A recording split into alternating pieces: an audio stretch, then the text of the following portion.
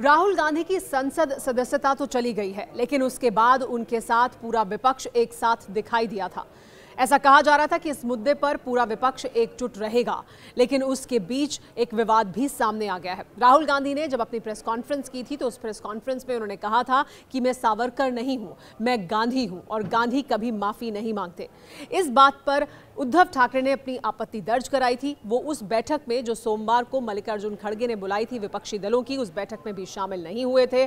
और उसके बाद अब इस मुद्दे पर अजीत सावरकर, जो सावरकर के पोते हैं, उन्होंने भी आपत्ति दर्ज कराई है। और उन्होंने कहा है कि अगर राहुल गांधी माफ़ी नहीं मांगते हैं तो फिर वो इस मामले में एफआईआर दर्ज कराएँगे। इस मामले में कानूनी प्रक्रिया का पालन किया जाएगा। राहुल गांधी को माफ़ी मांगनी चाहिए। उद्धव ठाकरे की तरफ़ से भी ये कहा गया था। संजय राउत की तरफ़ से भी आपत्ति दर्ज कराई गई थी।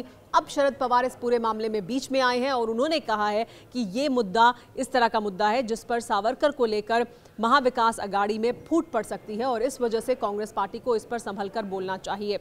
ये मुद्दा उन्होंने मल्लिकार्जुन खड़गे के सामने उस बैठक में भी उठाया, जो सोमवार को विपक्षी दलों की बुलाई गई थी। और इस बैठक में उन्होंने साफ़ किया कि कांग्रेस पार्टी को नर्म रुख इख्तियार करना चाहिए सावरकर पर बयान देते हुए। बीजेपी के विरोध में आप कोई भी बयान दें, लेकिन सावरकर को अपने निशाने पर लाने। कांग्रेस पार्टी की तरफ़ से भी ये आश्वासन ऐसा लगता है कि दिया गया है, ऐसी जानकारी निकलकर सामने आ रही है सूत्रों के हवाले से, जिसमें कहा गया है कि अब सावरकर पर उस तरह के बयान कांग्रेस पार्टी की तरफ़ से नहीं दिए जाएँगे।